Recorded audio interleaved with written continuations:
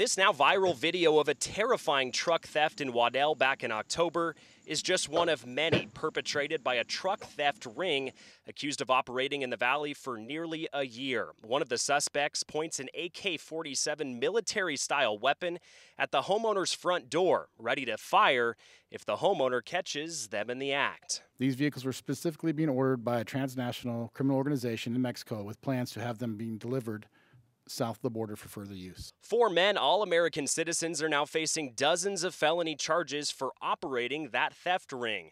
At a press conference Monday, we learned these men, identified as Jorge Aguilar, Anthony Reyes, Luis Rodriguez, and Douglas Zelaya, are charged with committing similar acts all across the valley. Their actions represent not only a significant financial loss to victims, but also a grave threat to public safety. These men were contacted by what is described as a transnational criminal organization operating in Mexico, using the American made trucks to further criminal activity there. We spoke to some subject matter experts who believe that's cartel activity. Is that what you guys have found as well? I couldn't link them to any specific cartel.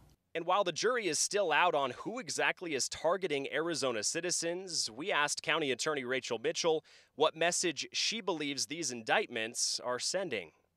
Is there a message you would give to out of country criminal organizations that want to prey on citizens in Maricopa County? The message would be this is not the place to come. Um, you know, uh, we believe in setting bail here, so you're not going to be getting out so you can return home. We believe in prosecuting uh, and holding people accountable, so it's uh, very likely that you're going to end up in prison